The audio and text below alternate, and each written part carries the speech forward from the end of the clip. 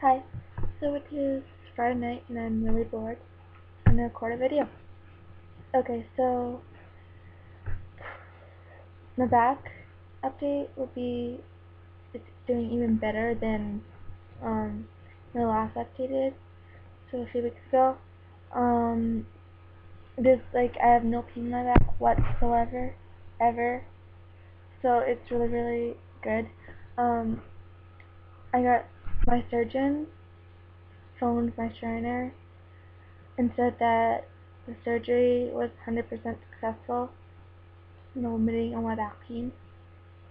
So I got a call from my trainer a few days ago asking me to speak in front of a large group of people and I think some doctors are going to be there, I'm not too sure though, about scoliosis and what I've been through and how well I'm doing now. I'm really, excited because I feel that it's a really, really big opportunity and I think that I can wow the crowd with how well I'm doing compared to last time. Like, I'm in literally no pain, like nothing hurts me ever. Like, it sounds really stupid, but I actually tried to like see if I could like make myself get in pain because like I'm so shocked that like I'm 100% pain free. Like I can sit up for like 24 hours straight basically without getting sore. And I used to be able to do that for like five minutes and then I'd be like, oh, I can't down. But the back surgery has really, really helped me and I'm like living an amazing life, having like a typical high school life now. It's really, really, really awesome and I'm really, really happy.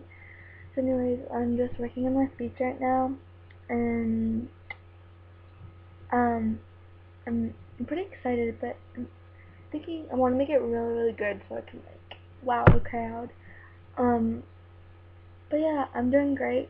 Life is doing great. High school is awesome. And that's pretty much it.